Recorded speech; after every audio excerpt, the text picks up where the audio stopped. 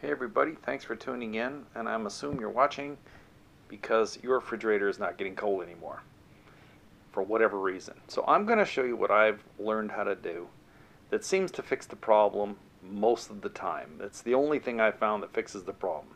So first off, this is the model Norcold model 2010, or I'm sorry, 1210. It's right there on the inside of the door, right here, model number 1210. Here's the basics.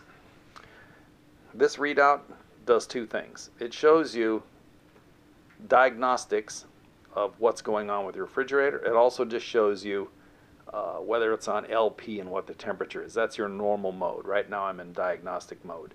So I'm just going to go ahead and turn this off. Hold that button to let go. It's now off and now turn it back on. That puts me in the regular mode. This is what most people see all the time. They know any they don't know anything else. Okay, now let's go into diagnostic mode. You know what these things are. This is your temperature, uh, 1 through 9, and this is your mode, LP electric. That's pretty straightforward. And this is your display. To keep things simple, uh, when you're pushing buttons here, especially when you're pushing two at the same time, wait till there's just a dot because if you push them and there's still something up here, it may be adjusting that.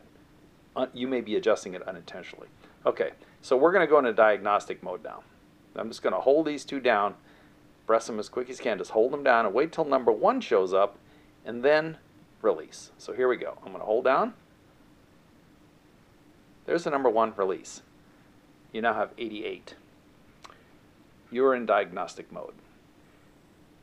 There may be error codes in here. There is a page within the diagnostic mode where you can clear errors. Uh, I don't know if there are errors. Usually I don't care if there are errors. I just know that I want that temperature to change. So I'm going to go to page number 6. So just push this until number 6 shows up here. 1, 6. And you'll see that this ER shows up, which means you're on the page that you can clear any errors that are in there. Now, if you use the PDF file, I'll put a link at the bottom where you find your owner's manual that may be different than this model, but if you can see the error codes, this will display them. You can go through that and look before you clear them, because once you clear them, uh, you're not going to get them back. So I'm now going to clear any errors that could possibly be in there. To do that, you simply hold the set button. Hold this down until CL shows up.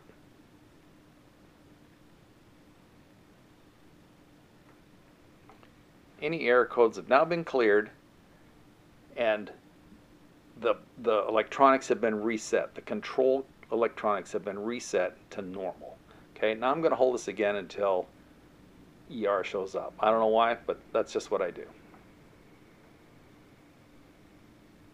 It's like you're going back to your error page, right? You're out of the clear mode.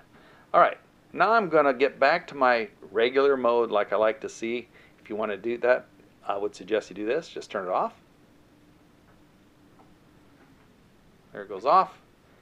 And now restart. This is almost like rebooting, just to make sure things are cleared up. And I'm starting from square one. So now I'll turn it back on. There we are. We're back in AC mode, the normal mode everybody looks at. All right. Now, did it fix anything? Ugh. Let's look at that temperature again. Wait till that goes out. Don't do anything until that goes away and you're back to a dot. Hold these both down again. There's your number one, let go. 88 shows up. The temperature of those fins is on screen number three. So I'm going to go until I get to number three. And there's 26 degrees. It shows up. That's what I do to clear any kind of error codes to see if I can get this thing to start cooling again. And it's worked every single time. I'm not sure if there are error codes. I don't know how it fixes it. These refrigerators are a little like voodoo. So the other thing is, make sure that these doors are closed all the way. They're they're snapped closed. Okay. If somebody just goes like this, it it may start beeping in two minutes, even if it's partly closed like that. I don't even trust that. I push here and make sure that they are both closed tight, because that could be all that's driving your temperature up. Make sure your doors are closed and do this and see if that fixes your problem. Good luck and thanks for watching. I'll include a link to the PDF file that shows these instructions in text. Thanks for watching.